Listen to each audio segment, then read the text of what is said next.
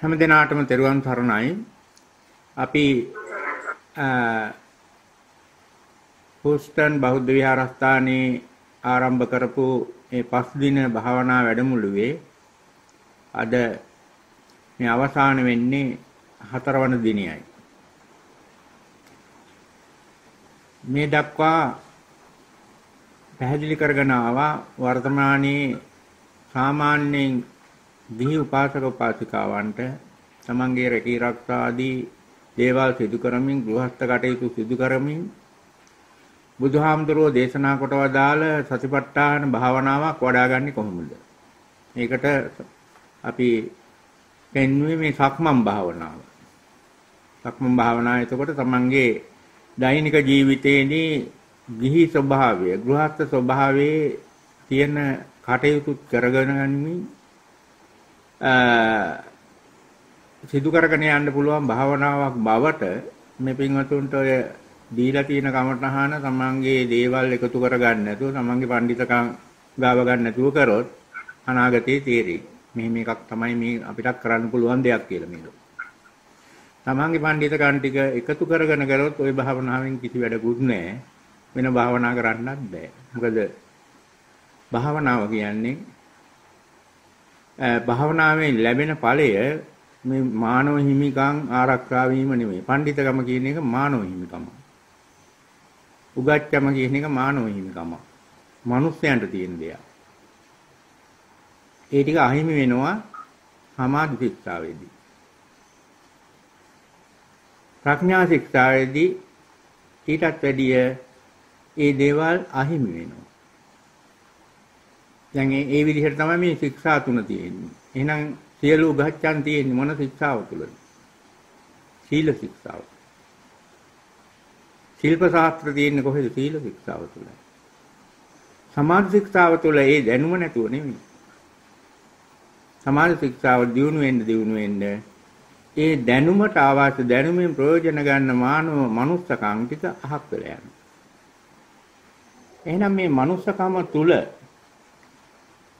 මේ සමාධි ශික්ෂාව කියන එකේ බාධක ටිකක් තියෙනවා. සමාධි ශික්ෂාව වඩනකොට බාධක ටික අපේ අයිතිවාසිකම් ටිකක්. මේ බාධක ටික එන්නේ කොයි වෙලේද? සමාධි ශික්ෂාවක් ආරම්භ කරනකොට ඒ සමාධි ශික්ෂාවෙන් මනස්තලය වෙනස් කරනවා. සමාධි ශික්ෂාව තුළින් වෙනස් කරන මනස්තලය තමයි දැන් අපි ඉන්නේ කාම ලෝකේ. අපේ මනස සක්‍රිය වෙන්නේ කාම ලෝකයක. කාම ලෝකය කියන්නේ මිනිස්සු ජීවත් වෙන ලෝකේ කාම ලෝකේ. දෙවියන් ජීවත් වෙන ලෝකේ දේවත්වයේ මානසික තත්ත්වයක් තියෙන්නේ. දෙවියන්ට සිතුම් පැතුම් ඇති වෙන්නේ.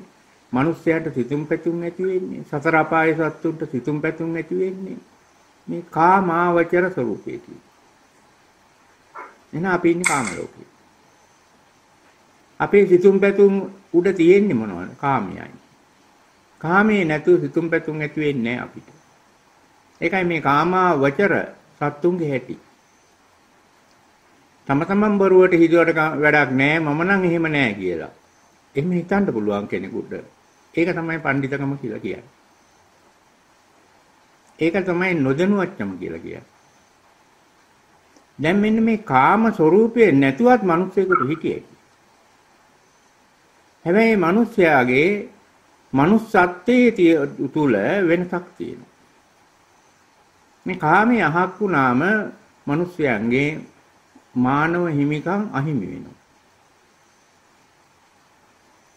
මානව හිමිකම් අහිමි වෙනවා. දැන් ඔන්න ඔතන තමයි ওই භාවනාවේ තියෙන ගැටලු සහගත භාවය.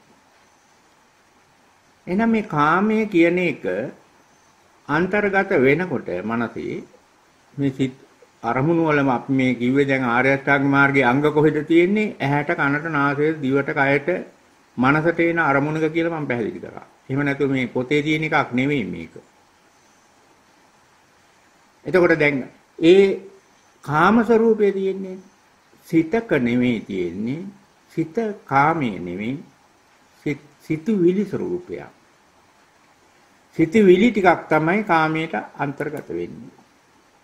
ඒක නිසාවෙන්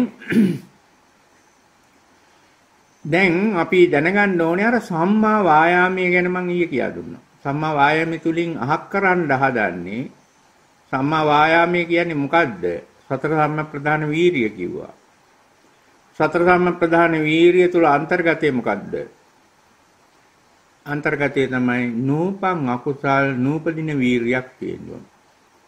උපං අකුසලය මැඩ පැවැත්වීමේ වීරියක් තියෙනවා. ඒ වගේම නූපං කුසලයේ උපදීමේ වීරයක් තියෙන්න ඕනේ. උපං කුසලය වැඩි දියුණු කිරීමේ වීරයක් තියෙන්න ඕනේ. මේක මේ ගැන කාට හරි හරියට දැනගන්න නම් මොනවද මුලින්ම දැනගන්න ඕනේ? දැන් සතර සම්ප්‍රදාන වීරිය කියන එක දැනගන්න තමන්ගේ මහන්සිය සල්ලි දුප්පත් වෙලා ඉපදිච්ච මිනිස්සෙක් එයාගේ මහන්සියෙන් උත්සාහයෙන් කෝටිපතියෙක් වුණා කියලා මේ මේ සතරාර්ම ප්‍රධාන වීර්ය හඳුන ගන්න පුළුවන් බෑ.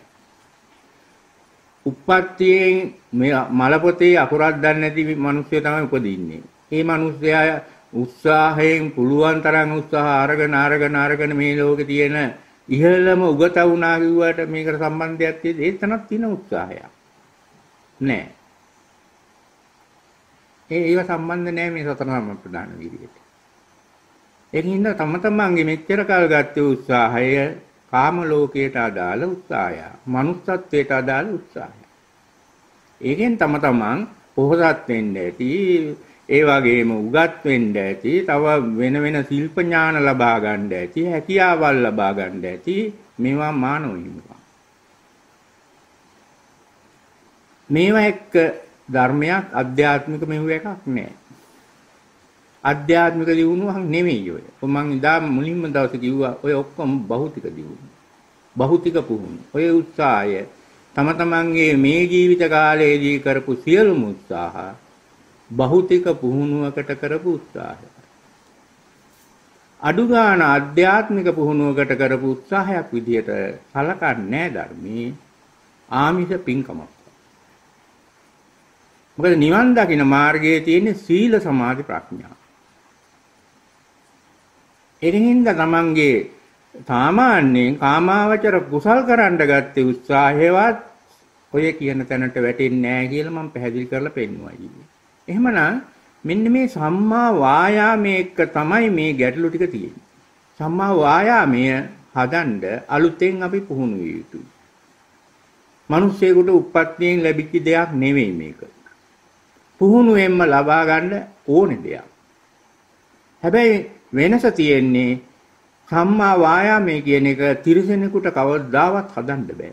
සතර අපායේ කිසිම සතෙකුට හදාගන්න බෑ උත්සාහ ගත්තට. හදන්න උත්සාහයක් එන්නේ නැහැ. සම්මා වායාමයේ උප්පත්ති මනුස්සත්වයේ ඉපදුණු ඕන කෙනෙකුට හදන්න පුළුවන්. ඒකින්ද මේ බුදුහාමුදුරුවෝ දේශනා කරනවා මනුස්සත්වයේ දුර්ලභයි. මොකද මනුස්සයාට මේ හැකියාව තියෙනවා.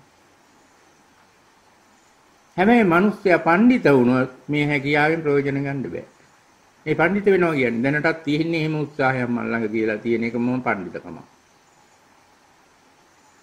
මගේ ඒවට සුදුසුකම් තියෙනවා. නෑ බුදුහාමුදුරුවෝ කියන්නේ මේ සුදුසුකම තියෙන්නේ manussත්වයේ උප්පත්තිය ලැබපු එක. නැත්නම් තමන්ගේ પરම්පරාවත්, තමන් මෙච්චර කල් කරපු ගියාවවත්, තමන්ගේ උගත්කමවත්, තමන්ගේ පොහොසත්කමවත්, තමන්ගේ සිල්වත්කමවත් මේව නෙමෙයි මෙතෙන්ට අදාළ. ඒක ඒවා එහෙම හිතන හිතන තැන මේ සම්හා වායාමයට බාධක ටිකක් එනවා. මේ බාධක මොනවද? බාධක වර්ග දෙකක් බුදුහාමුදුරු පෙන්වනවා. දැන් කාම ලෝකයට ආවේනික වෙච්ච බාධක ටිකක් අපිට තියෙනවා. ඒව නම් අපේ මානව හිමිකම්. මේවා තමයි මානව හිමිකම් කියන්නේ. ඒතකොට කාම ලෝකයට ආවේනික වෙච්ච බාධක පහක් තියෙනවා. මේ සම්මා වායාමයේ ගන්න දෙන්නේ. සම්මා වායාමයේ දිනු වෙන්න දෙන්නේ නැහැ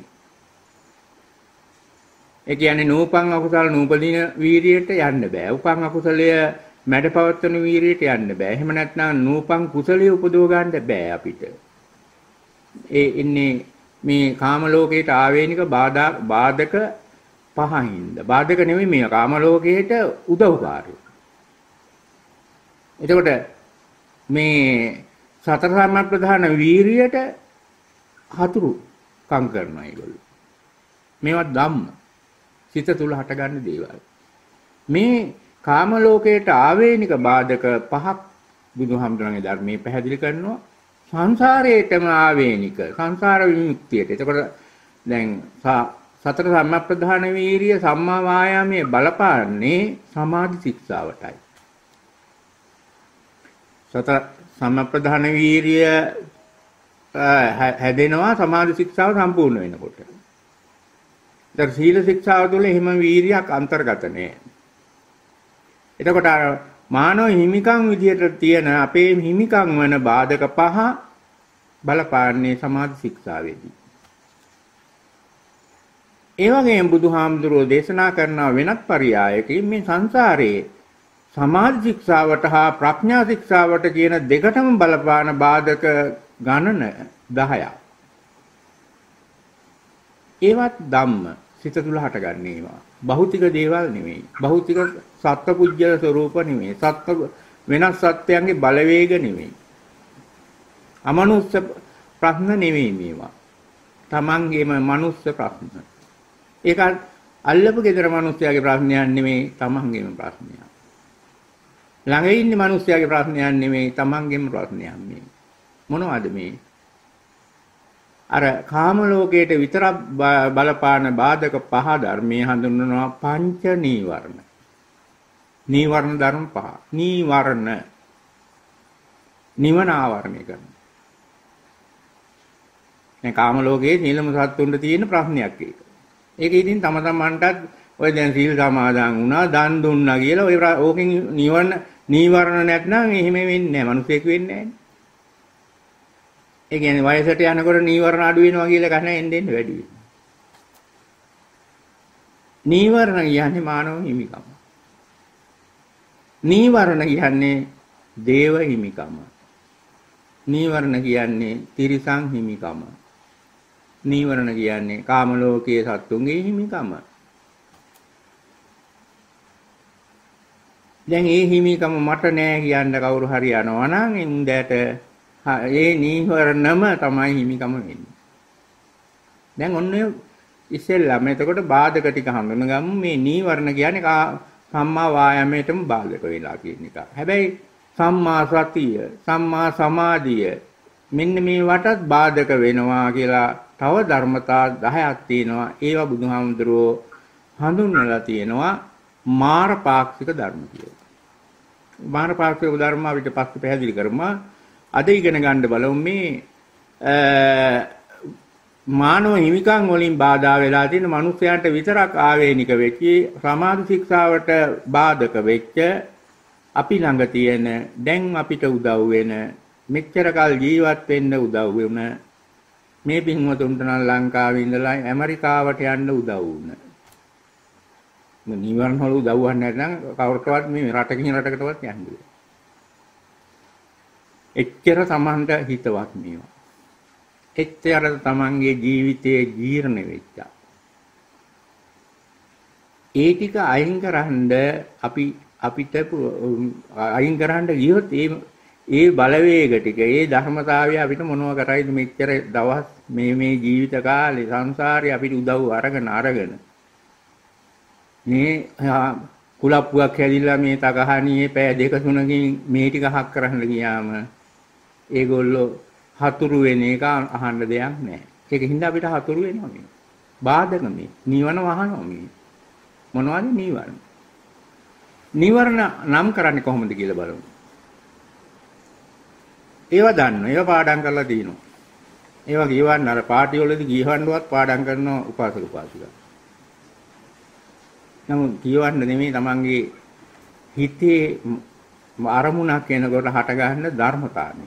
හැම කෙනාගේම තියෙනවා. බල ධර්මයේ හඳුන්වන්නේ නීව පංච නීවරණ ටික. පළවෙනි නීවරණය තමයි කාමච්ඡන්දය. දෙවෙනි එක තමයි ව්‍යාපාදය. තුන්වෙනි එක තමයි තීන මිද්දය. හතරවෙනි එක තමයි උද්දච්ච කුක්කුච්චය. මේ නිවන වහන දෙයක්. පස්වෙනි එක තමයි විචිකිච්ඡාව. දැන් මේවා pāli වචන. මේ ඉතින් සිංහල ගත්තම ඉතින් සිංහල ගත්තම 아무තු දෙයක් නෙවෙයි තමන්ගේම තමන්ගේම දේ මේ. මන් ළඟ තියෙන දේ මේ. මගේ මගේ හිත තුල හැම වෙලේම තියෙන දේ මේ.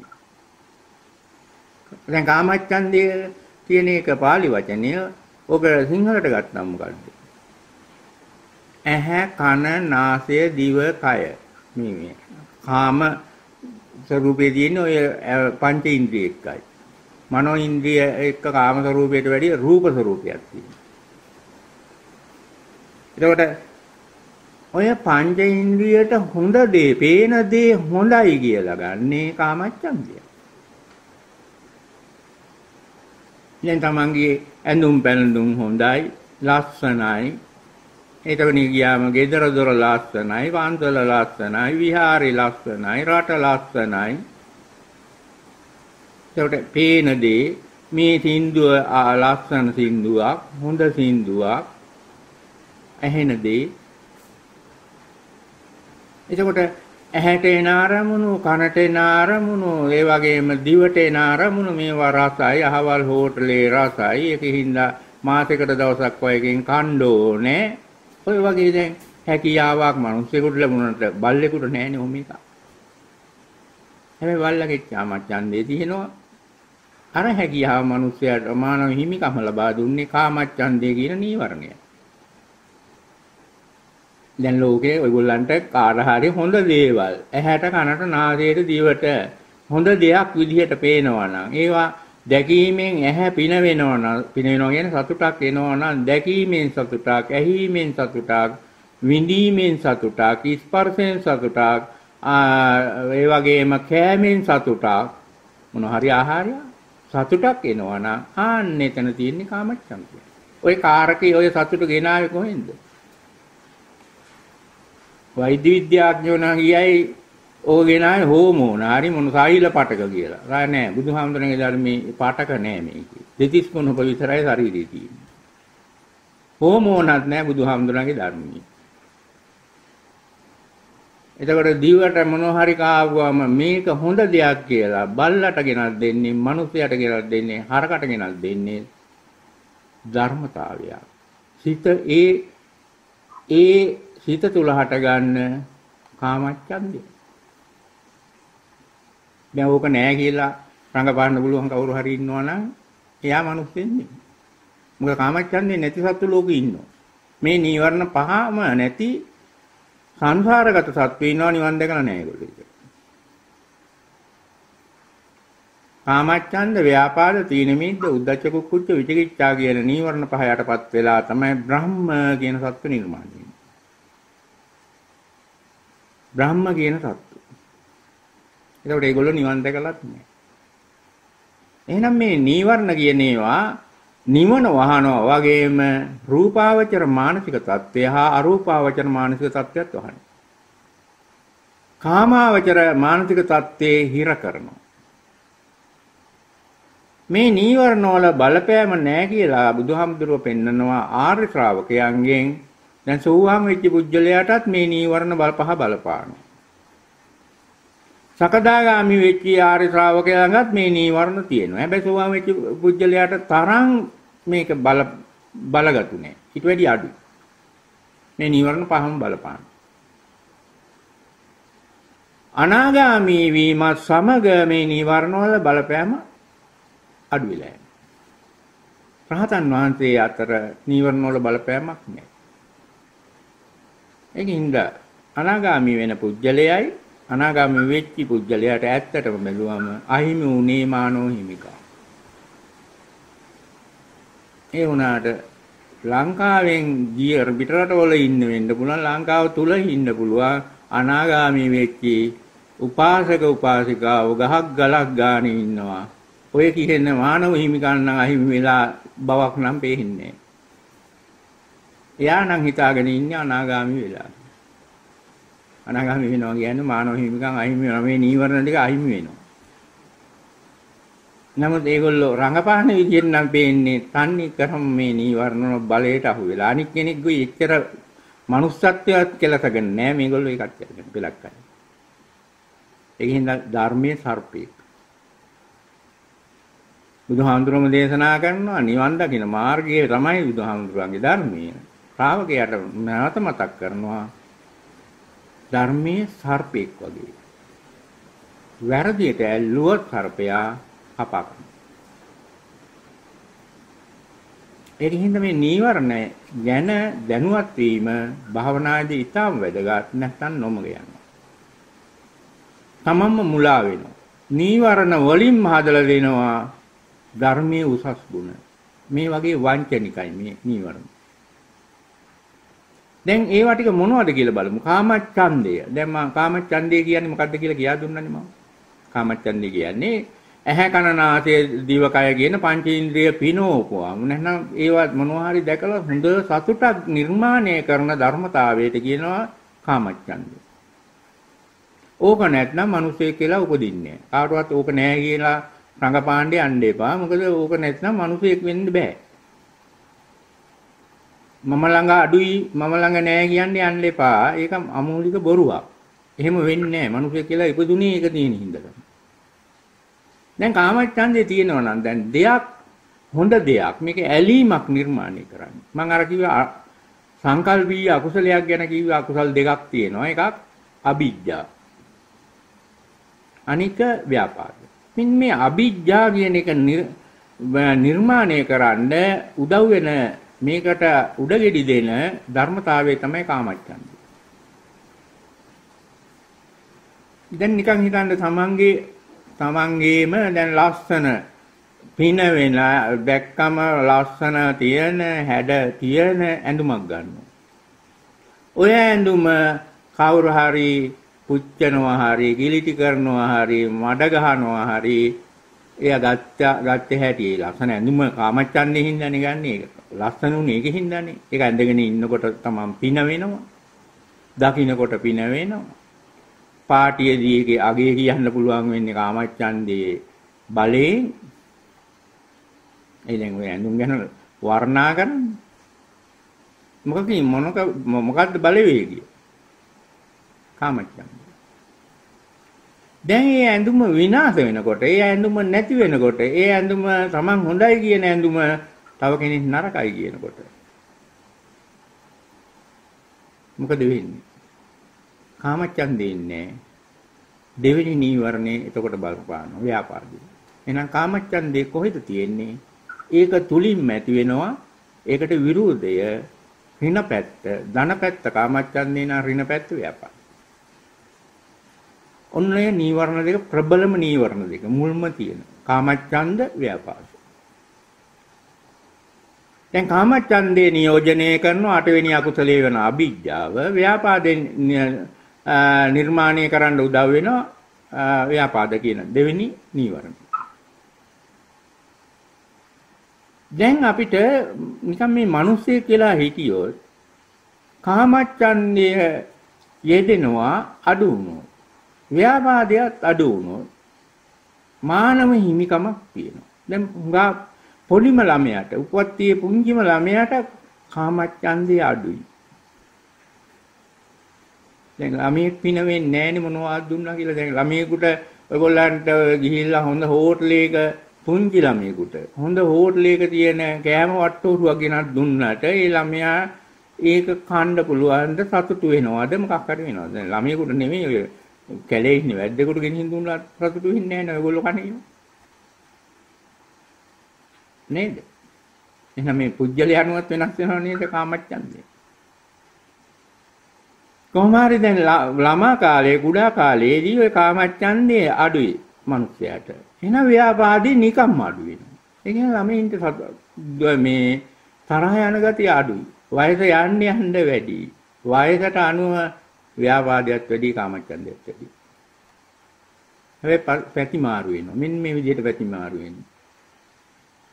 දැන් වයස අඩු අය දැන් තරුණ කාලේ එහෙමනම් ඇඳුම ගත්තොත් ලස්සන ඇඳුම් මෝස්තර ලස්සන පාට ඒකට කැමතියි. වයස වැඩි වෙනකොට ඔය 60 පයින්නකොට සුදු පාට ඇඳුම් වලට කැමතියි. මෙතනත් දැන් එහෙම අයත් ඇති අර ඉස්සෙල්ලා අයත්. ඔක දැන් වයස අනුව මේ කාමච්ඡන්දේ ඇඳුමටත් මාරු වෙනවා. හිතේ අපි උසස් ගුණයක් තියෙනවා කියලා. නෑ නටන්නේ කාමච්ඡන්දේ කියන නීවරණේ බෙරපදේට.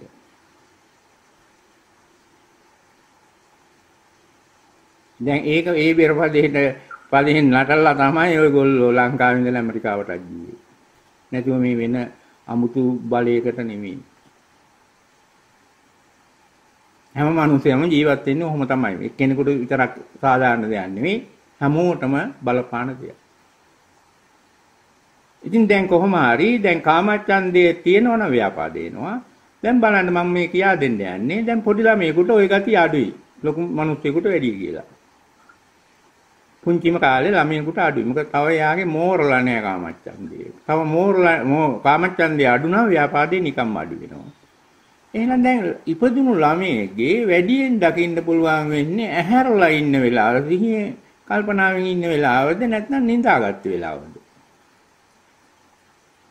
නිදාගත්ත වෙලාව. මේ නිින්ද කියන එකත් මානව හිමිකම.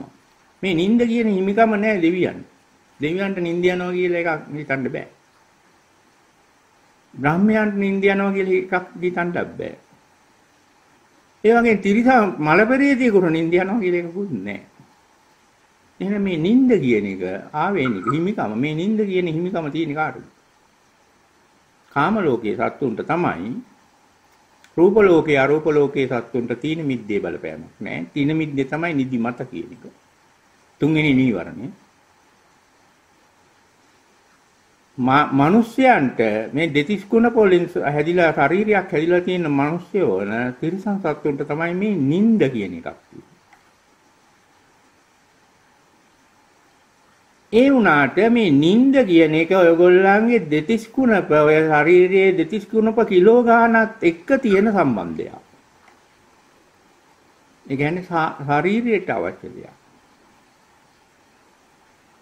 ඒ බුදුහාමුදුරුව පෙන්නන තීන මිද්ද කියන නීවරණය ඔය දෙතිස් කුණප ශරීරයේ එක්ක තියෙන එකක් නෙමෙයි සිත තුල හටගන්නේ ධර්මතාවයක්. කාමච්ඡන්දේ වගේ එකක්. ව්‍යාපාදේ වගේ එකක්. එහෙනම් කාමච්ඡන්දය හා ව්‍යාපාදය වගේ තීන මිද්දේ කියන දේ හඳුන ගන්න තීන මිද්දේ කියන්නේ නිදිමත හෝ වෛද්‍ය විද්‍යාවෙන් කියන මේ ශාරීරික අවශ්‍යතාවයක් නෙමෙයි මේ කියන කතාව. මේ කියන කතාව බුදුහාමුදුරුවෝ පෙන්වන්නේ සිතක් තුල හටගන්නේ ධම්මයක් ගැන. මේ ධර්මතා පහ. නීවරණ ධම්ම. ඒ කියන්නේ සිත තුල හටගන්නේ. කාමච්ඡන්දය සිත තුල හටගන්නේ. ව්‍යාපාදයේ සිත තුල. තීන මිද්දේ සිත තුල. හැබැයි කාමච්ඡන්දයෙන් කරන්නේ මොකද්ද? ඇහැට පේන දේ දේ ඇහැට පේන දේ කාමච්ඡන්දේ අඩංගු වුණොත් ඒකෙන් සතුටක් ඇති කරගන්න. ඇහැ පින වෙනවා. ඒක හින්දා තමයි මේ සවාරි යන්නේ, සපාරි යන්නේ. ඔන්නෝක කාමච්ඡන්දය හින්දාමයි. දැන් ගෙදර ඒක හැමදාම දැන් මේ කොරෝනා කාලේ ඉන්න එපා වෙලා තියෙනවා. අන්න එතකොට අර කාමච්ඡන්දේට වැඩිය එකම දේ දකින්නකොට අපිට තියෙනවා නීරස ස්වરૂපයක්. පිනවෙන්නේ නැති දේ ස්වરૂපයක් තියෙනවා. ඇහැ පිනවෙන්නේ කන පිනවෙන්නේ නැති වෙනකොට ව්‍යාපාදයට බලය එනවා.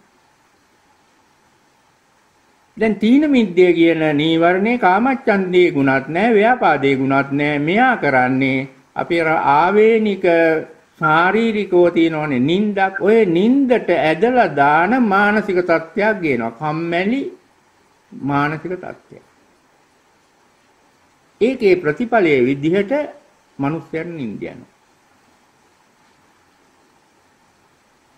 එතකොට නින්ද නෙමෙයි ව්‍යාපා මේ මේ තීන මිද්ද කියන නීවරණය නින්ද ශරීරයට අයිති ශාරීරික ක්‍රියාවලියක්. ලේ ගමනාගමනීය මත පවතින එක. මොලේ ක්‍රියාකාරීත්වය මත පවතින එක. නිින්ද කියන එක. නමුත් ඔය තීන මිද්ද කියන නීවරණයට බලය තියෙනවා අපිව නින්දට දාන්න. දැන් නින්දායිති ශරීරයට කායික ශරීරයට ඒකෙන් අයථා ලෙස ප්‍රයෝජන ගන්න පුළුවන් ධර්මතාවයක් තමයි තීන මිද්ද කියන්නේ. දැන් ඒක තේරෙන්න ඕනේ. එහෙනම් කාමච්ඡන්ද, ව්‍යාපාද, තීන මිද්ද. දැන් ඇයි එහෙනම් පොඩි ළමයෙක් වැඩියෙන් නිදාගන්නේ? පොඩි ළමයෙක් වැඩියෙන් නිදාගන්නේ කාමච්ඡන්දයයි ව්‍යාපාදයයි අඩු වෙන්නේ. අඩු. එතකොට මේ දෙක මේ ප්‍රබල නීවරණ දෙක ප්‍රබලම නීවරණ දෙක කාමච්ඡන්දයයි ව්‍යාපාදයයි. ඕක අඩු වෙච්ච හැටිය තීන මිද්දයට බලය වෙනවා. කාමච්ඡන්දයට බලය තියෙන වෙලාවක ඒ නීවරණය තමන්ගේ සිත් තුළ සක්‍රිය වෙන වෙලාවක නිින්ද යන්නේ ව්‍යාපාදයේ සක්‍රිය වෙලා යනක නිදිමත නැහැ.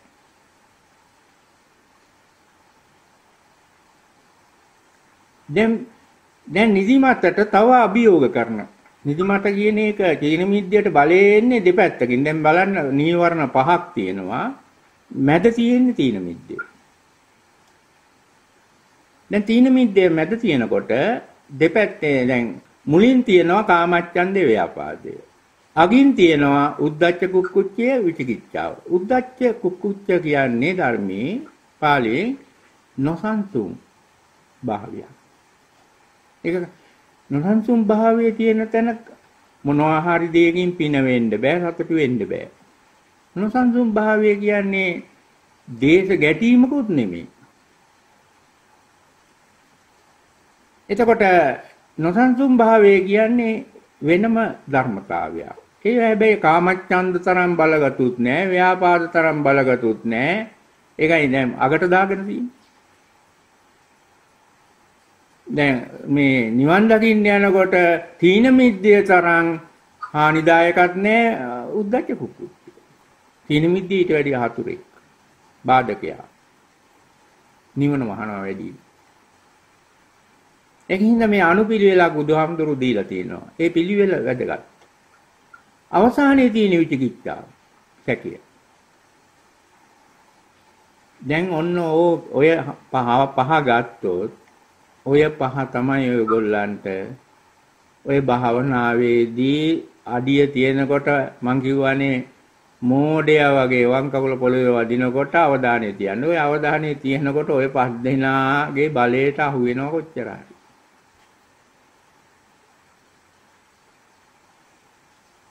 දැන් කාමච්ඡන්දේ පෙලක් වෙලාවට බලයට එනවා. දැන් කාමච්ඡන්දේ වගේ දේවල් දැන් ඔය වගේ කමටහනකට අඩුයි. බලපාන විදියන්නේ. ඒක බලපානවා නම් බලපාන්නේ කොහොමද? දැන් කාමච්ඡන්දේ වගේ එකක් බලපානවා නම් ඔතන දැන් ඔන්න කාට හරි දැන් ওই පන්සලේ රක්මන් කරන්න Taman තෝර ගන්නවා. අහු වෙනවා එක්කෙනෙකුට හොඳ පහසුව තියෙන කාපට් එකක්. හරි සනීපයි කියලා අඩිය බිම වදිනකොට. ඒකට කැමැත්ත ඇති වෙනවා. ආන්න කාමච්ඡන්දේ හැබැයි දරුණු නෑ ඒවා. ඒවා එහෙම වුණා කියලා ගැටලුවකුත් නෑ. ආ නැවත නැවත මේක කරනකොට කාමච්ඡන්දේට නීරස වෙනවා. එතකොට බෙලක් අයට දැන් ඉදා ඉඳලා අපි කොයි තරම් සුවිශේෂී මිනිස්සයෝද වැලි කැටයක් පැහැගිලා නැහැ. එච්චර මනුස්සකමින් ඉහළයි කියලා වැජවෙන්න හදන බෞද්ධයෝ ඉන්නවා. ඒ අයට දැන් ඔය පයින් ඇවිදින්න ගියොත් දැන් සක්මන් භාවනාවට ඇවිදිනකොට කකුලේ ගල් ලැනෙනවා. ඒව පුරුදු නෑ. එහෙම ඉන්න එක මනුස්සකම නෙවෙයි කියලා පුරුදු වෙලා තියෙනවා. එතකොට එන්නේ වගේ තැනකදී හැම වෙලෙම මහා කරදරේ මේ හාමුදුරුවෝ හැම වෙලෙම බණ කියන්නේ සක්මන් කරන්න ඇවිදින්න ඉතින් අඩියක් ගන්න විම අඩියක් තියනවා තියනකොට තියනකොටම ඉන්නේ මොකද්ද ව්‍යාපාරේ. ආ එක්කද මං එක්ක. ඒ උපාසකම්මලාට රාකමං කරන්න ගියාම වෙන දේවල් මම මේ කියන්නේ. හිතාගෙන ඉන්නේ මන් ළඟ නෑ කියලා නීවරණ. දැන් මම කිව්වා නේද මෙහෙම කතාවක්. ඔය දීපු උපදේශ පත්‍රිකාවලත් ඇති මේ කමඨහන මෝඩයා වගේ කරන්නේ. ඒ කියන්නේ වම් කකුල පොළවේ වදිනකොට අවධානය තියන්න වෙන මොකවත් ඕනේ නැහැ. එතකොට කාමච්ඡන්දේට බලය අඩු වෙනවා. ඒ වගේම මෝඩය වගේ අවධානය තිබ්බම ව්‍යාපාදයට බලය අඩු වෙනවා. හැබැයි ඔක කාලයක් කරන්න. අපිට මේ කොහේ හරි අරමුණක කාමච්ඡන්දයට බලය අහිමි වෙනවා නම් කාමච්ඡන්දය අඩු වෙනවා නම් ව්‍යාපාදය අඩු වෙනවා නම් අපේ සත්‍ය ස්වરૂපය තුන්වෙනි නීවරණයට බලය ලැබීමයි ඒක තමයි නිදිමත. ඔයගොල්ලන්ට gedare හිටියාම කවුරුවක් නැති වෙනකොට ඒ වගේම Taman කැමති දෙයක් නැති වෙනකොට ඒ කියන්නේ කාමච්ඡන්දයට බලය අඩු වෙනවා කියලානේ. එතකොට ඒ වගේ ව්‍යාපාදයට බලය අඩු වුණා. කම්මැලිකමක් එනවා, නිදිමතක් එනවා, නිින්ද යනවා. ආන්න එක තියෙන්නේ. මේක සදාකාලිකව අපිට උරුම වෙච්ච දේ. අර පොඩි ළමයාට වෙන්නේත් ඕකමයි. වැඩියෙන් නිදා ගන්න හේතුව ඕකයි. දැන් ඒකින්ද මේ නිදිමතයි කියලා දැන් ඔයගොල්ලන්ගේ ගෙවල් වල ඕක වෙනවා. කාමච්ඡන්දය අඩු වෙනවා. ව්‍යාපාදය අඩු වෙනවා. එතකොට කම්මැලි කියනවා, මූසලයි කියනවා. එහෙනම් අපි අපි මූසලයි කියන්නේ මොකටද කියලා බලන්න. අපේ මූසලකම නැති කරන්නේ කවුද? මනුස්ස හිමිකම වන කාමච්ඡන්දය හෝ ව්‍යාපාදය. අනි මූසලකම කියන එක අපි බුදුහාමුදුරන්ට වටින දෙයක් අපිට නොවටින දෙයක්. අපි මූසලයි කියන්නේ කාමච්ඡන්දය අඩු වෙන තැන හා ව්‍යාපාදය අඩු වෙන තැනකට. නමුත් බුදුහාමුදුරන්ට මෙතන වටිනවා.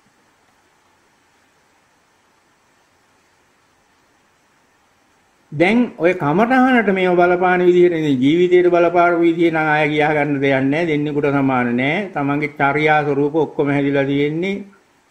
මං දැන් කෙටියෙන්ම කියා දුන්නානේ ඔයගොල්ලෝ කවුරු හරි ලංකාවේ ඉඳලා ඔය ඇමරිකාවට ගියානේ එක ගිය ඔය නීවරණ ටික තමයි. ඔය නීවරණ නැත්නම් ඔහොම දෙයක් අපිට වෙන්නේ නැහැ දැන් නීවරණ අඩු වෙලා ලංකාවේ ඉපදිලා ලංකාවේ ඉන්නවා කියන කතාවක් නෙමෙයි මම මේ කියන්නේ. මේ හැම ජීව ක්‍රියාවලියක්ම මෙහෙව්වේ කවුද? පංච නීවරණ. පංච නීවරණ නැත්නම් ඔය අපිට මෙන්න මේවා අහිමි වෙනවා. උගච්ඡං, පොහොසච්ඡං මොකක්වත් අහිමි නැති වෙලා යනවා. මනුස්ස කනුත් නැති වෙලා යනවා. හැකියාවල්, ශිල්ප ශාස්ත්‍ර මොකක්වත් නැතු යනවා. බ්‍රහ්මියෙකුට එහෙම දෙයක් නැහැ. දැන් බ්‍රහ්ම ලෝකේ අහලා තියෙද්ද මේ මේ පොහොසත් බ්‍රහ්මයෙක් ඉන්නවා කියලා. සිතු තත්තේ ලක්ෂපති බ්‍රහ්මයේ කෝටිපති බ්‍රහ්මයේ නෑ නේද? බ්‍රහ්ම ලෝකේ උගතෙක් ඉන්නවා කියලා අහලා තියෙද? ආචාර්ය මහාචාර්ය වගේ නෑ. මොකද නීවරණ නෑ. එහෙනම් දැන් පංච නීවරණ තියෙන තැනක තමයි මේ මේ ඔක්කොම කණ්ඩායම හදන්නේ. මිනිස්සු තුලයි ඉන්නේ. අඩු ගන්න දෙවියෙක් ළඟවත් නෑනේ. උගත් උගතේ පොහොසත් දෙවියෙක් කියලා යාර.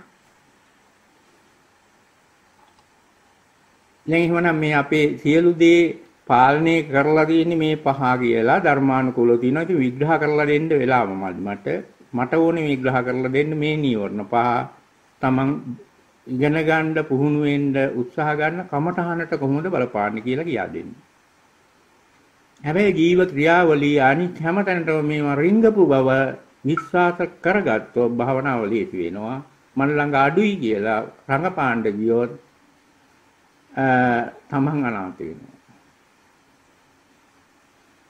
එච්චර මේ නීවරණ වංචනිකයි. දැන් බලමු අර දැන් ඔන්න මෙන්න මේවා තියෙන මේ බලය බෙදා හැරීමේ අනුපිළිවෙල. මේ නීවරණ පහේ. මේකේ බලගත්ුම කෙනා තමයි කාමච්ඡන්දේ මුලට දාලා තියෙන බුදුහාමුදුරු ඒකයි. කාමච්ඡන්දේ අරමුණකට આવොත් අනික් නීවරණ හතරම හැකිලෙන්න ඕනේ. අක්‍රීය වෙනවා. මේ නීවරණ වල හැටියක්. ඒ පහක් බෙදලා තිබුණාට කාමච්ඡන්දේ දැන් ඇහෙන් එන අරමුණට කාමච්ඡන්දේ බලය ආවොත් ව්‍යාපාදේ අහිමි වෙනවා. තීන මිද්ද අහිමි වෙනවා. උද්දච්ච කුක්කුච්චිය නැහැ ක්‍රියාත්මක. ඒ වගේම විචිකිච්ඡාව නැහැ. ඒ කියන්නේ අපිට හොඳ අරමුණ ඒ වෙලාවේ හොඳයි. සතුටු අරමුණ සතුටුයි. ඒ වෙලාවේ මොකක්වත් ඇතිවන්නේ දැන් බැරි වෙලා හරි ඒ ඇහෙන් කනෙන් නාසයෙන් දිවෙන් කයෙන් මනසෙන් එන අරමුණකට යම්කිසි විදියට කාමච්ඡන්දයට එන්න බැරි නම් ඒක බලපවත්තන් නැත්නම් දෙවෙනි අවස්ථාව හැම වෙලේම හිමි වෙන්නේ ව්‍යාපාදේ. ඒකින්ද අපිට යමක් එක්කෝ ලස්සනයි හොඳයි නැත්නම් නරකයි. පේන දේ ඇහෙන දේ හිතේ. ඒ කියන්නේ හොඳ වෙන්නකොට කාමච්ඡන්දයක් නරක වෙනකොට ව්‍යාපාදයක්. ඔය දෙන්නගේ දෙන්නටම අරමුණ ඒ දෙන්නගේ බලයට නතු නොවුනොත් ඒ පළමුව බලගත්ු කෙනා කාමච්ඡන්දේ ඒකට ඊට වැඩිය බලයෙන් අඩු කෙනා ව්‍යාපාදේ කාමච්ඡන්දේ අරමුණට ආවේ නැත්නම් ව්‍යාපාදයට එනවා බලය එහෙම නැත්නම් ඒක එනවා උද්දච්ච කුක්කුච්චේට අර තුන්වෙනි එකට නෙවෙයි ඉන්නේ. හතරවෙනි නීවරණයට බලය යන්නේ. නොසන්තුම් භාවයට. දැන් ඒක නේද වෙන්නේ? දැන් බලන්න එක දැන් Taman දන්න ප්‍රනීත ආහාරයක් ඒ ආහාරය දැක්කොත් ආ ඒක ගැන සතුටුයි. දැන් අද වුණත් වෙන්නේ නැති ඔය දානේ වළඳන්න එහෙම ගියා. අර සිල් ගත්තා කියලා මේවා අඩු වෙන්නේ නැහැ. මේ පස්පව් නෙවෙයි මේ මානව හිමිකම් ගැනයි මම මේ කියන්නේ. එතකොට ඒ ප්‍රණීත ආහාරය දැක්කම සතුටුයි. Taman අක්කමැතිම ආහාරයක් තියෙනවා. ඒ කියන්නේ කන්න කැමති නෑ. ඒක තමන්ගේ මතයක් කොහෙන් හරි හැදිලා තියෙන මොනවා හරි හේතුවක් උඩ මේ හැදිලා තියෙනවා. මොකද හේතුව වැඩ වැඩගත් යමන්නේ නැහැ. නීවරණ වලට හේතුව වැදගත් යමක් නැහැ. නමුත් එයා රජ කරනවා රජ කරනවා. එතකොට අකමැති දේ දැක්කෝ කෑම. අනේ මේව කන්න බෑ කියලා ඇති වෙන්නේ මොකද්ද? ව්‍යාපාරය. මෙච්චර කල් දැකපු නැති ආහාරයක් තියෙනවා. දකින්නවා අද දාහනේ වල දන්නේ කිව්වා. එතකොට ඇති වෙන්නේ දැන් Taman දන්නේ හොඳයි කියලා දන්නවා නම් ඇති වෙන්නේ මොකද්ද කාමච්ඡන්දේ. Tamanට නරකයි කියන මතයක් හැදිලා තියෙනවා නම් ඒ ආහාරය දැක්කම ඇති වෙන්නේ ව්‍යාපාදේ. Taman හඳුනන්නේ නැති අලුත් ආහාරයක් ආවොත් ඇති වෙන්නේ මොකද්ද? නොසන්සුන් බව. මේවා මොකද්ද මේ? දැන් හතරවෙනි නිවර්ණ. තේරුණානේ? එහෙම නැත්නම් හතරවෙනි නීවරණේ නැත්නම් එනවා ඒ ඒක ආහාරය ගැන සැකය. පස්වෙනි නීවරණ. එන හැම වෙලේම කාමච්ඡන්දය හෝ ව්‍යාපාදයට අරමුණ ගෝචර නොවුනොත් අරමුණ තුල කාමච්ඡන්ද හෝ ව්‍යාපාද කියන නීවරණ දෙක läග්ගේ නැත්නම් අරමුණේ බලය එනවා නොසන්තුම් භාවයට හෝ සැකයට. ඒ කියන්නේ හතරවෙනි නීවරණයට හා පස්වෙනි නීවරණයට.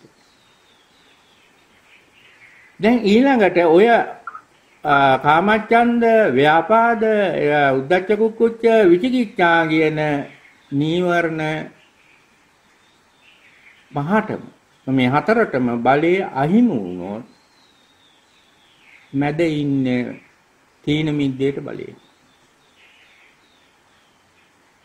එහෙනම් දැන් නීවරණ යටපත් වෙන්න මූලික වෙන දේ මොකද්ද?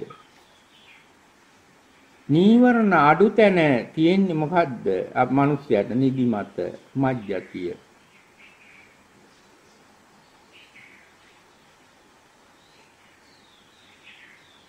දැන් බලන්න මේ කතාව ඇත්තද කියලා. නීවරණ වල බලය අඩු වෙනවා බණ අහනකොට.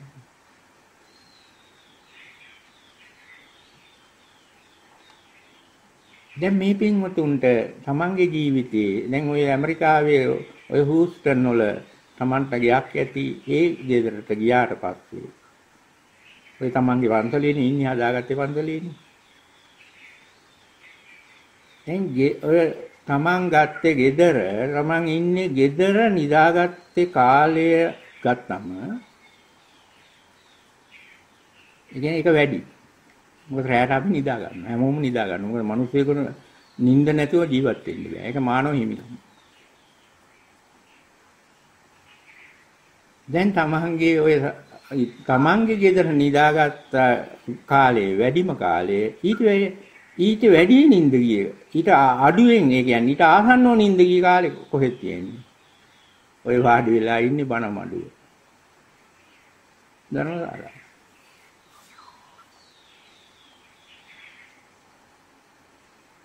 දැනුත් මේ වෙලාවේ මට පේන්නේ කවුරුවත් ඈත ඉඳලා පේන්නේ කී දෙනෙකුට නිින්ද ගිහින්ද දන්නේ. මේක නරකක්ද? මේක හොඳක්ද? බනහනකොට නිින්ද යනවා කියන එක නරකක්. අපි අහලා තියෙනවා. මට ඕනේ නරක කියා දෙන්න නෙමෙයි මේකේ සත්‍ය කියා දෙන්න. මේ වෙන්නේ එහෙනම් අපිට බනහන්න ගිහිල්ලා වැඩියෙන් නිින්ද යනවා. නිදිමත වැඩි වෙනවා. පාටියක ඉන්නකොට නිදිමත නෑ අපිට. කානිවල් එකක ඉන්නකොට නිින්ද ගිහිල්ලා නෑ. මේ පින්වතුන්ට කවදාවත් ওই ධර්මශාලාවේ නිින්ද ගියාට බනහනකොට shopping center එකක නිින්ද ගිහිල්ලා නෑ. මගුල් පාටියක නිින්ද ගිහිල්ලා නෑ. මොකද? එන්නේ ඒක තමයි මේ කාමච්ඡන්දයට බලය තියෙනකොට නිින්ද යන්නේ. තීන මිද්දේට බලේ නැහැ. දරුණු නීවරණේ කාමච්ඡන්දය. ඒ වාට ව්‍යාපාදයට බලය තියෙන කොට නිින්ද යන්නේ එහෙනම් ඇයි බනහඬ ගිහින් නිින්ද යන්නේ? එතන කාම ඔය දැන් ධර්ම ශ්‍රවණීය කාමච්ඡන්දයට අවස්ථා අරමුණු අඩු කරනවා. ව්‍යාපාදයට දැන් බුදුහාමුදුරුවෝ එක්ක තරහ වෙන්නේද අපි? බණ කියන හාමුදුරුවෝ එක්ක තරහ වෙන්නේද? එහෙම යන්නේ නැහැ නේ අපි. අල්ලපු ගෙදර මිනිහා එක්ක තරහ වෙන්න පුළුවන්. එහෙම අපිට අපේ හුරුව නෑ. අපිට දෙමව්පිය උගන්වලා නෑ එහෙම. ඒක හින්දා අපිට එහෙම යන්නේ නෑ මනස ඒ විදිහට වැඩ කරන්නේ. ඒක අපේ බෞද්ධ සංස්කෘතිය. ඒකින් හින්දා අපිට ව්‍යාපාදේ ඇති වෙන්නේ නෑ. පන්සලේ ඇති වෙනව අඩුයි. දැන් ඒක ඒක නිසාවෙන් නිින්ද යන ප්‍රමාණය වැඩි බණ අහනකොට. දැන් තේරුණාද මෙතන මේ බණ අහනකොට නිින්ද යන එක හොඳක් කියන එක නෙවෙයි මම මේ කියා දෙන්න යන්නේ. ඒක අඩු කරගන්න දක්ෂ වෙන නමුත් නිින්ද යන එකේ තියෙන වටිනාකම. ඇයි අපිට හැම හුඟක් නිදිමත හැදෙන්නේ බණ අහන්න ගියාම. මෙන්න මේ කාමච්ඡන්ද ව්‍යාපාදයේ අවුස්සන පවත්වන්න පුළුවන් කාමච්ඡන්ද ව්‍යාපාද වලට ආහාර වෙන අරමුණු නෑ ධර්මී. ඒවා අහිමි වෙනකොට අපේ සහජ ගතියට අපි යනවා. ඒක තමයි නිදිමත. දැන් ඔయిత වැඩිය දරුණුම තැන බනහනකොට වැඩි නිින්ද යන්නේ භාවනා කරන්න ගියාම. එහෙනම් නීවරණ යටපත් කරන කෘත්‍යය තමයි භාවනාව කියන්නේ. ඔය සමත භාවනාවේදීත් එහෙම වෙනවා විපස්සනා භාවනාවේදී ආරම්භයේදී ඕකමයි. ඒක නිසාවෙන් ඔයගොල්ලන්ට අපි දැන් කියා දුන්න කමටහනේ කියා දීලා දුන්නා. ඒ වගේම අර ලියලත් ඇති. හරියට මේක ආධුනිකයෙක් කරගෙන ගියොත් වම් කකුල පොළවේ වදිනකොට අවධානය තියෙනවා. දකුණු කකුල පොළවේ වදිනකොට අවධානය තියෙනවා. ගණන් ගන්න නැතුව මෝඩය වගේ මේක කරගෙන යන්න කියලා උපදෙස් දීලා තියෙනවා. මෝඩය වගේ මේක කරොත් ඔය කකුල බිම වදින අරමුණේ අය නැතුව ඇහෙන් එන අරමුණ කනෙන් එන අරමුණ ඒව නෙමෙයි අපි මේ කියන්නේ කමටහනට අදාළ කායික අරමුණ මේ කකුල බිම වදින අරමුණ තුල මුලින්ම අර අවධානයේ සතිය සතිමත් වීම මතම කාමච්ඡන්දයට බලය අඩු වෙනවා. ව්‍යාපාදයට බලය අඩු වෙනවා. ටිකක් කරනකොට මේ භාවනාව. ඒක ඉතින් අර මෝඩයා වගේම කරන්න ඕනේ. මේක පඬිතයා වගේ කරන්න ගියොත් ඕවට බලය යනවා. මෙහෙම මේ කාමච්ඡන්දයට ව්‍යාපාදයට බලය ගියාම දැන් ඔන්න තීන මිද්දයට බලය එන්න නම් දැන් ඒ බලයට අනිත් දෙන්න බලය අහිමි කරන්න ඕනේ නීවරණ වල. මොක කවුද? උද්දච්ච කුක්කුච්ච විචිකිච්ඡාව. ඔන්න ඉතින් දැන් ඔය දෙකේ ඔය කමටහනේ ඇත්තටම බිමාඩියේ තියෙන කොටත් කාමච්ඡන්දේ බලේ නෑ ව්‍යාපාදේ නැවෙන්න පුළුවන් අර කකුලේ ගල් ඇනෙනවා මම මෙච්චර කල් මේ හිටියේ මේ විල්ලුද උඩ ලංකාවෙත් එහෙමයි ඇමරිකාවෙත් එහෙමයි එහෙම රත්තරන් මේ දේහයක් මට තියෙන්නේ තියුම් දේහයක් ඔය වගේ මනස් ගාත දිතිස් කුණප ඕල දැකලා පිනවෙච්ච ඒවා පෝෂණය කරපු උපාසකම්මට උපාසක මහත්තයට ගැටලුවක් තමයි මොකද බීම පය තියලා ඇවිදින්න දැන් ඒ අයට අඩියේ තියෙන වතාවක් ගන්න ඉන්නේ කාමච්ඡන්දේ නෙමෙයි ව්‍යාපාදී. ඉතින් ඔහේ පුපුර පුපුර ඇවිදින්න. ඒ අයට කිසි ගැටලුවක් නැහැ භාවනාව දිනු වෙන්නේ නැහැ. ඇයි නීවරණේ පෝෂණය කරනවා. එහෙම නැතුව අර ශ්‍රද්ධාවෙන් ගෞරවයෙන් කරගෙන යනකොට කාමච්ඡන්ද ව්‍යාපාදෙන ඔය කමඨහන් වලින් අඩු කරනවා. දැන් සමත කමඨහනක් වෙන්න පුළුවන්, විපස්සනා කමඨහන් වෙන්න පුළුවන්. එහෙනම් කමඨහන් වල රහස මොකද්ද? කමඨහන් කියන්නේ භාවනාවට උපදෙසනේ. රහස තමයි කාමච්ඡන්ද ව්‍යාපාද කියන නීවරණ දෙකට බලය අඩුයි. දැන් බලන්න ඕන නම් සමත කමඨහන. බුදු ගුණ මෙනෙහි කරනවා. බුදු ගුණ වල කාමච්ඡන්දයට බලයක් නැහැ. බුදු ගුණ කවදාවත් බුදුහාමුදුරුවෝ එක්ක අපි තරහ වෙන්නේ නැහැ. බුදු ගුණ එක්ක ගැටුමක් අපිට නැහැ. ඒක තමයි බෞද්ධකම. එහෙනම් ওই විදිහටම වෙන ආගමක් ගත්තොත් ඒ ආගමේ ශාස්ත්‍රූවරයා කෙරෙහි ගැටුමක් නැහැ. එහෙනම් ශාස්ත්‍රූවරයා දෙවියෙක් නම් දේවතානුස්සතිය දේවතාවගේ ගුණ කාමච්ඡන්ද ව්‍යාපාදයට පත් කරන්න පුළුවන් කමඨාන. මෛත්‍රිය. එහෙම එකක්. දැන් අසුබය. අසුබය කියන එක නම් හැබැයි එහෙම එකක් නෙමෙයි. අසුබයට අපි කැමති නෑ. අසුබයට අපි කැමති නෑ. නමුත් කාමච්ඡන්දය වැඩි වෙච්ච ශරීරයක් ශරීරය සඳහා කාමච්ඡන්දය වැඩි වෙච්ච දෙතිස් කුණප පාට කරන දෙතිස් කුණප ගැනම හිතන දෙතිස් කුණපම ලෝකයේ වෙච්ච දෙතිස් කුණප නැතුව දෙතිස් කුණප වල වටිනාකම වැඩියෙන් බොරුවට සලකන අය සමබර වෙන්න එහෙනම් ව්‍යාපාදයෙන් අරක කපලා දාන්න. ඒකින්ද අසුභවනාව වඩනවා. ඔය හැම කමඨහනකම එහෙනම් ඔය කාමච්ඡන්ද ව්‍යාපාද එක්ක බැලන්ස් කිරිල්ලා එහෙම නැත්නම් මේකට සුදුසු බලයට එන්න බැරි කම අන්තර්ගත වෙනවා. දැන් සතිපට්ඨානයේට ඔය අපි දීපු සක්මන් භාවනාවෙත් ඔය ගතිය තියෙනවා. ඒකින්ද කාමච්ඡන්ද ව්‍යාපාද හක් වෙනවා. ඊට පස්සේ බලයට කරලියට එන්නේ කවුද? විචිකිච්ඡාව හෝ උද්දච්ච නොසන්සුන්කම. මේ දෙවිධයකට එනවා. දෙකම එකම ආකාරයට එනවා. මං මේ කරන විදිහ හරිද? දැන් ඔන්න දැන් ප්‍රශ්න ඇහුවේ මුලින්. කකුල බිම තියනකොට එක වෙලාවක විලුඹ තිබ්බ වෙනවා ඊට පස්සේ ඇඟිලි තිබ්බ වෙනවා. ඉතින් කොයිකද මේකේ අවධානය? මොකද්ද මේ ප්‍රශ්නේ? ඒ වෙලාවේ දැනුන වෙලාවේ ඒ භාවනා කරන කෙනාගේ මනසේ ඒ ඒ කියන අරමුණේ අන්තර්ගතය මොකද්ද? උද්දච්ච කුක්කුත් කියන සංසුම් භාවය. ඊට පස්සේ මේ කොයිකද හරි විලුඹට අවධානය තියෙන එකද හරි ඇඟිලි වලට අවධානය තියෙන එකද? ඒ මොකද්ද? විචිකිච්ඡා. කැකේ. නමුත් ඒකට කමක් නැහැ මම මේ කියන්නේ මෙතන දරුණු නීවරණ දෙක කාමච්ඡන්දේ ව්‍යාපාදේ අර දේවල් ටික ටික ওই බහුලීගත කරනකොට කමටහන නිකම් මහක් වෙනවා. එච්චර බලේ නෑ ඒකට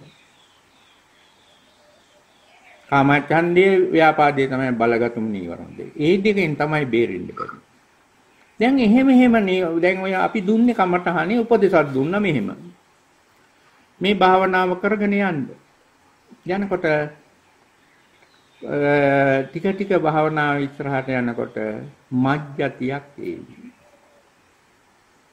මජ්ජතියක් ඒවි. නිදිමත ඒවි. එතකොට නිදිමත ඉක්මවන්න. ඔය උපදේශ දීලා ඇති. පත්‍රිකාවල ඇති. දේශනාවල ඇති. නිදිමත ඉක්මවන්න. එහෙනම් නිදිමත කියන්නේ ওই මධ්‍යතිය මොකද්ද? තීන මිද්ද නීවරණයට. එහෙනම් අවසානයේට නේද නිදින මිද්දේ බලයට එන්නේ. ඒකට අහු වුණොත් දැන් උපාසකම්මලා ලැහැත්ති වෙන්නේ සක්මන් කරලා නිදිමත ගතිය එනකොට ඒක නවත්තලා බුදුගුණ මෙනෙහි කරන්න යනවා. එතකොට නිදිමත අහක් වෙනවා. ඒ කාමච්ඡන්දේ එතන බලයට එනවා. නිදිමත ඉක්මවන්න බෑ. ඒ කියන්නේ වෙන අරමුණක ආය අලුතෙන් කාමච්ඡන්දයට බලයට එන්න දෙන්නේ නැතුව එහෙමනම් මේ ආවේ අවසාන තැනයි. අවසාන තැන කියන්නේ මේකම වුණා කියලා සම්පූර්ණ වෙන්නේ නැහැ. නැවත නැවත මේ දේ වෙනවා අපිට. නමුත් එක අවස්ථාවක් හරි මේක පන්න ගන්න ඕනේ.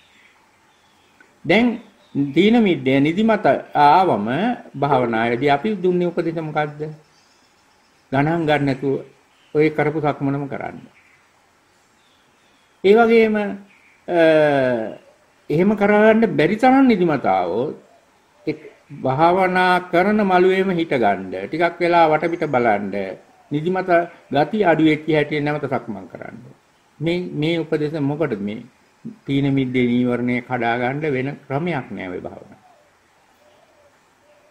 දැන් එහෙම කරොත් කවුරු හරි එහෙම කෙරුණොත් කරොත් කියන්නේ බලෙන් හිතලා කරන්න යන්න එපා. අපි මේ කිව්වේ කරගෙන යනකොට මෙහෙම ආවොත් මෙන්න මේවා අනුගමනය කරන්න. මේ මේ යන පඩිපෙළයි භාවනාව. එහෙම නැතුව මේ Tamange අර නීවරණ වල බලවෑම නෙවෙයි මේ තියෙන්නේ. ඒකට බලය දීම නෙවෙයි බලය අහිමි කරන පිළිවෙලයි මේ කියන්නේ. දැන් එහෙම භාවනා කරොත් නිදිමත ඉක්මෙනවා. එතකොට නිදිමත ඉක්මෙනවා කියන්නේ මේ කාමච්ඡන්දේ නැහැ, ව්‍යාපාදේ නැහැ, නිදිමත ආවේ උද්දච්ච කුච්චය බලය අහිමි වෙච්ච වෙලාවකනේ. එහෙනම් තීන මිද්දයක් නැති වුණාම ඔන්න නීවරණයටපත්. හැබැයි මොහොතයි. දැන් ওই කමටහනේ නීවරණ යටපත් වුණොත් පමණයි ඔයගොල්ලන්ට අර ශරීරයේ ධාතු ගුණ උණුසුම් සීතල කම්පන තේරෙන්නේ ඒ අරමුණේ. මතක තියාගන්න මේ පටලව ගන්න එපා. මම මේ කියන්නේ දැන් නීවරණ හටගන්නේ ඇහෙන් කනෙන් නාසයෙන් දිවෙන් කයෙන් එන එක අරමුණක. දැන් අපේ කමටහන තියෙන්නේ කායික අරමුණක. කයෙන් එන සියලුම අරමුණුත් නෙමෙයි වම් කකුලය පොළවේ වදිනකොට ඒ පොළව හා වම් කකුලේ පාදයේ ස්පර්ශයෙන් ඇති වෙන අරමුණේ නීවරණ තියෙනවා. නීවරණ හරි මොනවා හරි මේවා ඇති වෙන්නේ. ඒකට දැන් ඒව ඇහෙන් එන අරමුණෙන් අහක් වෙනව නෙමෙයි මේ කනින් එන අරමුණෙන් අහක් වෙනව නෙමෙයි දිවෙන් එන අරමුණෙන් අහක් වෙනව නෙමෙයි මන මනෝ ඉන්ද්‍රියෙන් එන අරමුණෙන් අහක් වෙනව නෙමෙයි අර කමඨහනට අදාළ අවස්ථාවේ පවතින අරමුණේ තමයි මේ නීවරණ යටපත් වෙන්නේ. තේරුණානේ? දැන් ඒක බලගත්තු. ඒකත් බලගත්තු. ඉතින් තව ඔක බහුලීගත කරනකොට කරනකොට තමයි අනිකුත් ඉන්ද්‍රියන් වල අනික් ඉන්ද්‍රියම් කමඨහනට ගන්නෑ අපි. අනික් ඔහේ සාමාන්‍ය විදිහට භාවනා කරනකොට අනික් ඉන්ද්‍රියන් වලත් බලය අහිමි කරනවා. දැන් මේ විදිහට තමයි අපේ මේ භාවනාව ඉස්සරහට යන්නේ. නිදිමත ඉක්මවපු අවස්ථාවක තමයි තීන මිද්දේ බලය අහිමි වෙච්ච තැනකදී තමයි නැත්නම් නීවරණ යටපත් වෙච්ච තැනකදී තමයි කායික අරමුණක ධාතු ගුණ ඉස්මතු වෙන්නේ. ඒක ධර්මානුකූලව ගියේ. දැන් නීවරණ වලට බලය නැවත ගණ්ඩ කරන උපක්‍රමයේ තමයි අර ධාතු ගුණ වලට ඇලීම හා ගැටීම. ගන්න මේකේ බලගතු නීවරණ දෙක තමයි මේ මේ යුද්ධයට එන්නේ හැමදාම. ධාතු ගුණයක ඇලුනොත් ඒ බලගත වෙනවා කාමච්ඡන්දය. දා ඊගාෙන් තීන මිද්දේ බලගතු නැහැ. අනික්ව බලගතු නැහැ. බලගතු වෙන්නේ මොනවාද? කාම අර ධාතු ගුණයේ කැලෙනකොට කාමච්ඡන්දය ගැටෙනකොට ව්‍යාපාද. දැන් ඇලීම ගැටීම නැතුව භාවනාව සිදු කරන්න තමයි අර මෝඩයා වගේ අරක බහුලීගත කරන්නේ. එතකොට මේ බලය අහිමි වී යනවා. ටික ටික නීවරණ නැති මනසක් ලැබෙනවා. නීවරණ නැති වුණා කියලා නිවන් දකින්නේ කවුරුවත්. නීවරණ නැති මනසක් ලබා ගන්න ශික්ෂාව තමයි සමාධි ශික්ෂාව. එතකොට ආර්ය අෂ්ටාංග මාර්ගයේ සම්මා වායාමයේ තියෙනවා නීවරණයටපත් වෙනවා. සම්මා සංකප්ප තියෙනවා. නීවරණයටපත් වෙච්ච තැන සංකල්පනා සම්මා සංකප්ප හැම විටම. හැබැයි කාමාවචර ස්වરૂපයක් නෙමෙයි මෙතන තියෙන ධර්මානුකූල රූපාවචර ස්වરૂපයක්. හැබැයි රූපාවචර ස්වરૂපයේ මනසක් කිව්වට රූපාවචර ධාන නෙමෙයි. රූපාවචර ධාන කියන කතාවක් නෙමෙයි. සතිපට්ඨාන භාවනා වඩලා ධානය ලැබෙන්නේ කාටවත්. මේක විපස්සනා භාවනාව.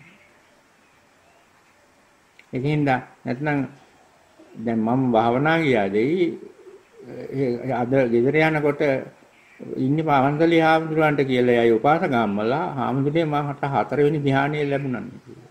මහා බ්‍රහ්මයක් කතා කරන්නේ. ඉතින් ඒ වගේ වෙන්න බෑ. ඒ වගේ නිකන් රංගපාණ්ඩ යන්න එපා. මේ කරන භාවනාවේ සමත භාවනාවක් නෙමෙයි මේකේ ওই විකාර වෙන්න බෑ. උනාද වැරදි. ඔය නීවරණ වලින් හදපු එක. නීවරණයටපත් වෙලා නෙමෙයි පිස්සු වැඩ වෙන්නේ. දැන් ඒක නිසාවෙන් දැන් පැහැදිලි ඇති අපේ භාවනාවෙන් මොකද්ද ඔය තීන මිද්දය? නිදිමත කිය ඉක්මවන්න කියන කතාව මම කිව්වේ ඒක තමයි. කවුරු හරි කෙනෙක් ආධුනිකයෙක් විදියට මුලින්ම භාවනා කරලා භාවනා කාලයේදී නිදිමත ආවනම් සක්මනේදී සතුටු වෙන්න කරපු විදිය හරි. දැන් තියෙන්නේ අපිට තව මේ භාවනාව බහුලීගත කරලා ඕක ඉක්මවන්නයි. එතකොට භාවනාව ඉස්සරහට යන්නේ. දැන් ඊට පස්සේ අපිට ඒක වුණා කියලා භාවනාව 100% සාර්ථක වුණා නෙවෙයි. අපේ සමාධි ශික්ෂාව එක අරමුණකට ගන්න හැකියාව ලැබුණා කියන එක. එක අරමුණකට. කයේ එක අරමුණකට. ඒ ඇති. ඊට පස්සේ ඕකම් බහුලීගත කිරීම තුල තව හිමින් හිමින් මේ தත්ත්වය අපිට දිනු කරන්න පුළුවන්. ඉතින් කාල වේලාව ගිහිල්ලා තියෙනවා. එතකොට අද දවසේ අපි පැහැදිලි කරලා දුන්නේ නීවරණ ගැනයි. ඒක බාධකයක්. නීවරණ කියන අමෘතයක් නෙමෙයි මානව හිමිකම්. ඔය නඩු දාන්නේ ඔක්කොටම ඔන්න ඔය හිමිකම් පහ අල්ලගෙන තමයි. බ්‍රහ්ම හිමිකම් නෙමෙයි. මේ හිමිකම නැත්තේ සත්තු නැති සත්තු බ්‍රහ්ම. බ්‍රහ්මයාගේ නෑ නීවරණ පහ. සක්‍රිය නෑ. ඉතින් ඔයගොල්ලන්ට ඔය ටික ටික භාවනාව දියුණු වෙනවා නම් ඔය කාමච්ඡන්දේ බලය අඩු වෙනකොට මොකද වෙන්නේ? බ්‍රහ්මචර්යාව වැඩි වෙනවා. බ්‍රහ්මචර්යාව කියන්නේ බ්‍රහ්මයන්ගේ හැසිරීම. ඔවද නොදන්න උපාසක උපාසිකාවන්ගේ භාවනා වඩනකොට මනුස්ස චර්යාව වැඩි වෙනවා. ඒක රංගපෑම. ඒ රංගපහන්නේ ඔය කාමච්ඡන්දේමයි. ඒකින්ද ධර්මයේ සත්‍යය. හරියට දැනගෙන ඉස්සරහට යන්න ඕනේ. බුදුහාමුදුරන්ගේ වචනේ ගරු කරන්න ඕනේ. තමන්ගේ தත්ත්වය තේරුම් ගන්න ඕනේ. ඉතින් ඒ හැම දෙයක්ම හැම දෙයකටම අවශ්‍ය භාවනා කමඨාන විතරක් නෙමෙයි මේකට අවශ්‍ය ධර්ම කරුණුත් එක්කයි අපි පැහැදිලි කරගෙන ගියේ. ඉතින් මේ පින්වතුන්ට මේව මේ හැම එකක්ම කියා දෙන්නේ ඔය තනියෙන් රට කොහේ වුණක් කමන්නේ ජීවත් වෙන්නේ කොහේ වුණක් කමන්නේ බුදුහාමුදුරන්ට අවශ්‍ය මිනිස්සෙක් වීම. manussත්වයේ උනේ. ඒ ඒ ඒ தත්ත්වය අපි හැමෝටම තියෙනවා. අපිට තියෙන්නේ එතකොට ඒ මනු ඉන්නේ තැන නෙමෙයි වැදගත්. අ පුහුණුවට ලබා දෙන තැන. පුහුණුවේ නැ ගෞරවයයි. පුහුණුවේ තියෙන කැමැත්තයි. පුහුණුවේ තියෙන ශ්‍රද්ධාවයි.